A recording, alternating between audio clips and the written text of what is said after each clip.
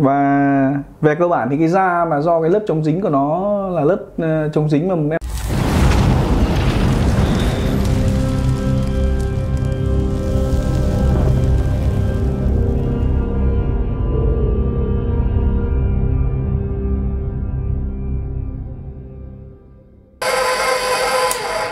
Chào tất cả các bác.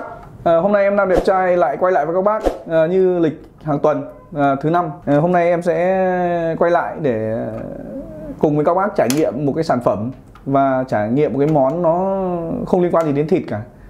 À, Cũng không liên quan gì đến cá cả. Đấy là một cái loại bánh à, Em gọi nôm na đấy là bánh Doraemon. Nhưng mà trước khi vào chế biến cái phần bánh Doraemon đấy thì em muốn giới thiệu với các bác một cái sản phẩm nó rất là đặc biệt đúng theo cái chủ đề ngày thứ năm hàng tuần. Thì à, một cái sản phẩm mà em muốn giới thiệu ngày hôm nay ấy là một cái chảo ờ, nó được update ờ, với em thì nó vừa mới được update theo trend là cách đây khoảng độ ờ, một tuần. Một cái chảo gang làm bằng thép carbon. Và cũng em cũng rất là tò mò xem là nó có gì đặc biệt và nó có gì nổi trội so với những cái dòng chảo khác những cái sản phẩm khác. À, mặc dù là anh em trong cùng một hệ thống kinh doanh thì các bạn ấy có phân phối cái chảo. À, tuy nhiên là cái chảo thép carbon này thì à, hôm nay là lần đầu tiên em được sử dụng đây là con chảo có cái tên ờ, và được sản xuất bởi hãng ờ, Lost ờ, một trong những hãng chảo mà em sở hữu bây giờ đến năm bảy cái gì đấy. À, nhưng như em đã giới thiệu nó được làm bằng thép carbon một tay cầm với kích thước là 30,5 cm tức là kích thước vòng ngoài lớn nhất là 30,5 cm cái vòng đáy trong đường kính miệng trong ấy là 30,1 cm một con chảo tương đối lớn. Và chảo này thì cực kỳ thích hợp cho việc là rán chiên. Với một gia đình mà tầm khoảng độ ờ, 4 đến 5 người thì một cái chảo này nó thoải mái. Cái tay cầm ờ, của cái chảo 30,5 cm này ấy, là nó có ờ, cái độ mảnh. Thì cái tay cầm này nó có độ dài là 23 cm cầm em vừa cầm thử thì nó tương đối là thoải mái à, các bác có thể thử là cầm nó như này nó tương đối là thoải mái.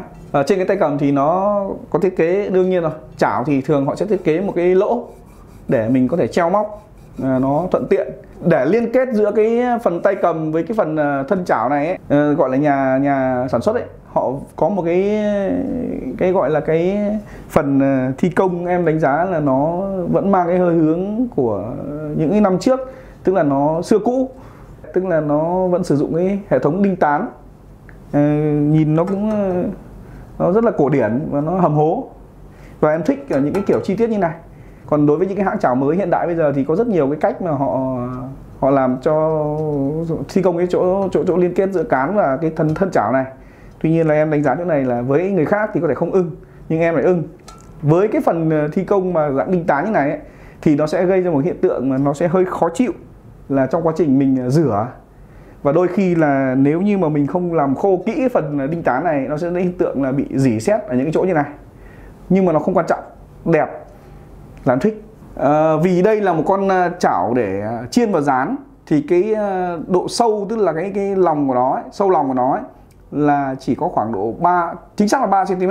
Trọng lượng của nó là 1898 tức là tương đương với 1,9 kg. À, ờ, nó cũng so, so với cái chất liệu mà nó sản xuất ra cái chảo này thì nó tương đối là nhẹ. Có một cái cái cái đặc biệt đấy là cái cán này nó thiết kế với cái phần thân chảo ấy nó rất là cân đối thì các bác cầm nó không bị mỏi. Nó không bị mỏi và không gây ờ, gây tức tay khi mà mình ờ, chế biến. Đấy là cái ờ, đặc biệt à, cái chảo này ấy, nó được làm bằng thép carbon nên là nó rất là nhẹ nhẹ hơn với những cái chảo gang bình thường và cái ưu điểm của nó khi nó làm bằng thép carbon ấy à, tức là cụ thể là cái tỷ lệ phối trộn hay là lúc quá trình sản xuất thì các bác có thể tìm hiểu hơn ở phần ờ, phần giới thiệu của hãng ở trên những cái trang web của, của người ta. Nhưng người ta nói là cái chảo này nó sẽ có độ bền cao và nó ít bị hiện tượng nứt vỡ trong quá trình sử dụng. À, cái khả năng truyền nhiệt thì nó nó sẽ nhanh hơn vì nó có độ cái cái độ dày của của chảo nó mỏng thì nó, nó sẽ truyền nhiệt nhanh hơn đấy là cái mà lợi thế của cái chảo này. Còn trong quá trình mình sử dụng ấy, thì mình vẫn sẽ hình thành những cái lớp uh, chống dính tự nhiên ở đây. Thì nó càng dùng nhiều thì nó càng càng càng dày lên và nó uh, chống dính tốt hơn. Thì buổi chiều em đã tôi cái dầu cho cái chảo này rồi ấy để xem khả năng chống dính nó đến đâu thì em sẽ thử bằng hai quả trứng này xem là mức độ chống dính của nó đến đâu.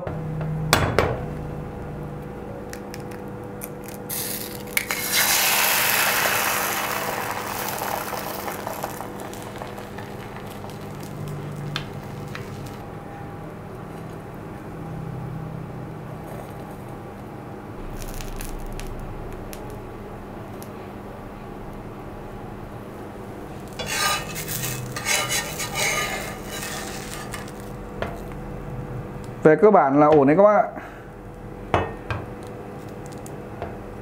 Được, lật lên xem nào. Lúc đấy là một quả, bây giờ thử một quả nữa xem nào.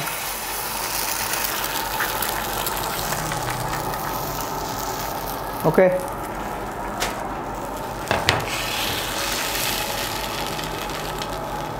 Cái chảo này nó nó mỏng nên là nó nóng tương đối nhanh các bác nhé các bác nhìn thấy đây này, em gạt thử đây này. Nó, cái độ chống dính của nó cũng tương đối tốt. Nó không kém những cái dòng chảo gang của lốt bình thường. Đây, các bác nhìn thấy này, nó nó bong luôn. Làm bốp la thì ờ, mình cũng nên sử dụng những cái chảo nó có độ chống dính tốt. Đấy, các bác nhìn thấy đấy nó gần như là nó nó, mình có thể nhấc được lên rồi cái bánh ờ, mà em định làm hôm nay là cái bánh ờ, dorayaki tức là cái bánh kiểu dạng bánh Doraemon ấy. Thì người ta có thể làm bằng ờ, rất nhiều loại chảo. Người ta có thể làm bằng những cái chảo siêu chống dính thì cái chất lượng bánh nó đẹp hơn. Nhưng hôm nay để thử xem cái khả năng chống dính vì em đã tôi buổi chiều rồi thì thử xem cái chống dính của nó như thế nào. Thì em sẽ làm bằng cái bột đánh sẵn này. À, hôm nào vui vui thì em sẽ hướng dẫn các bạn cái công thức làm cái bánh này làm cho trẻ con em bé ở nhà ăn nó cũng hay phết thì làm cái bánh ờ, dorayaki này thì nó cũng dễ thôi các bạn. Ngoài cái việc là đánh bột thì bữa sau em hướng dẫn thì ờ, chuẩn bị thêm cho em một cái phần gọi là cái này là nhân đậu đỏ. Cái này làm cũng siêu dễ. Ờ, em cũng hướng dẫn bữa nào hướng dẫn luôn thể trước khi các bác tráng cái bánh này ấy, thì các bác phớt uh, phết một cái lớp uh, mỏng lên chảo. Một uh, ít bơ. Sau đấy là mình đổ bánh thôi thì ờ, định lượng một cái ờ, một cái bánh này ấy, các bác ờ, cân chừng khoảng độ một cái muỗng này là ok.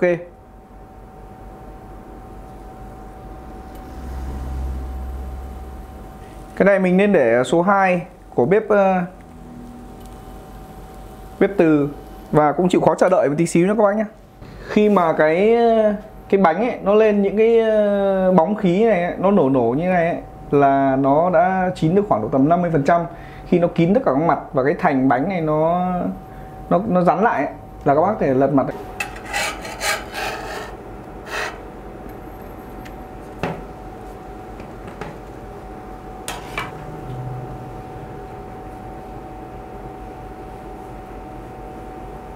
về cơ bản là cái bánh này người ta làm bằng cái chảo nó siêu chống dính những cái chảo mà nó đã trắng một cái lớp chống dính ấy thì nó dễ làm hơn nhưng mà hôm nay em thử với cái chảo này thì em đánh giá là nó cũng ờ, gần như là tương đương. Nó, thậm chí cái da nó lên, nó màu nó còn đẹp hơn. Thì ờ, về cơ bản như thế này là xong, một cái.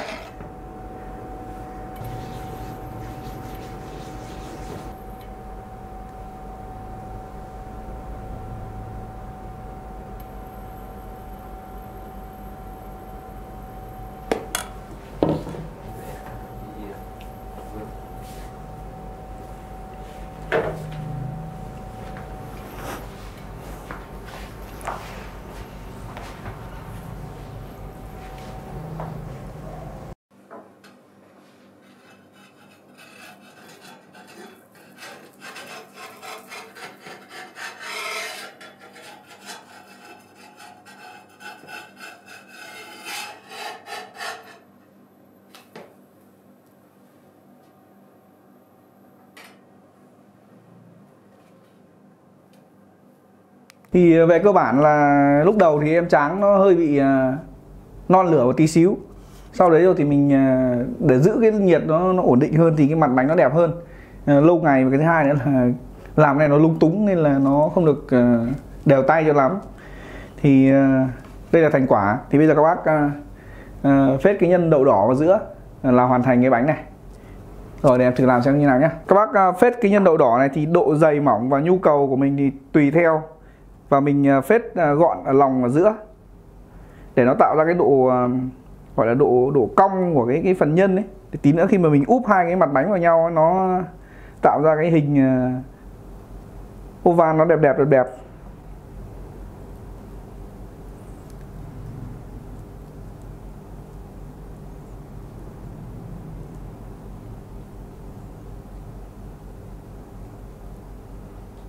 Sau đấy các bác à, chọn à, một cái mặt bánh còn lại. Mình à, úp nó vào. Mình nặn nhẹ cái phần đấy em không khéo tay lắm nên là làm nó cũng chưa được long lanh cho lắm. Về cơ bản thành quả một cái bánh. Ok. Hy vọng lần sau sẽ làm nó đẹp hơn. Tương tự như vậy thì cái bánh còn lại. Tiếp tục thì ờ, về cơ bản là đây là cái sản phẩm mà em làm nó cũng không được ờ, khéo tay cho lắm. Nhưng mà đánh giá với con chảo như này là em thấy tương đối là ok. Cả về độ chống dính ờ, cái công năng sử dụng nó cũng không thấy nó nó có gì nó bất thường và nó nó nó gây khó chịu cho mình.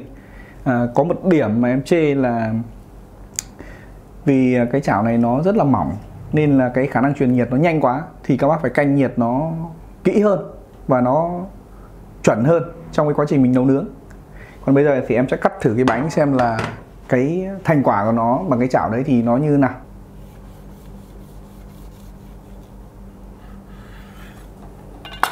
Thì à, đây là thành quả của cái bánh à, ờ, Dorazaki nó cũng giống cái bánh ở trong à, truyện tranh phết đấy. Ok để em cắt thử thêm một cái nữa thì cái thứ hai xem nó như nào nha các bác nhá.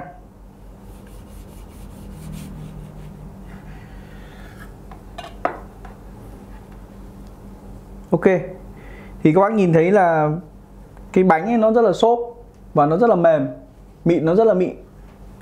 Và về cơ bản thì cái da mà do cái lớp chống dính của nó là lớp ờ, chống dính mà em mới tôi một lần, nên nó chưa phải là là lý tưởng cho lắm nhưng mà nếu mình sử dụng nhiều hơn và mình à, trong cái quá trình mình tôi dần tôi dần tôi dần ấy, thì cái lớp chống dính nó sẽ dày hơn.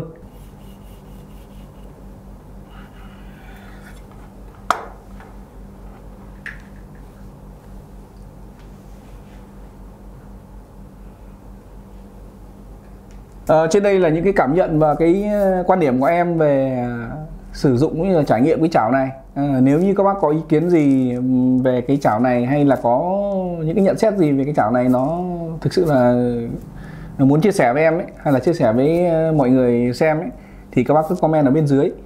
À, qua đây thì em xin cảm ơn các bác đã dành thời gian theo dõi hết cái video này. À, đừng quên like share và subscribe ủng hộ anh em.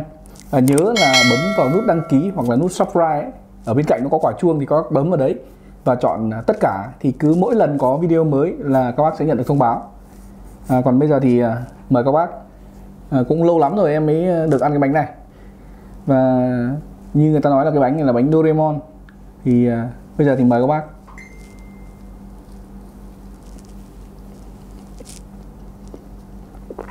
Cái nhân đậu đỏ nó rất là hợp với cái bánh này. Ăn nó mát và nó rất là mềm. Cộng với là cái bánh này ăn nó có cái vị ờ, uh, xốp và ăn nó rất là thơm. Ừ, có vẻ là ngon đấy các bạn rồi cảm ơn các bác và tạm biệt.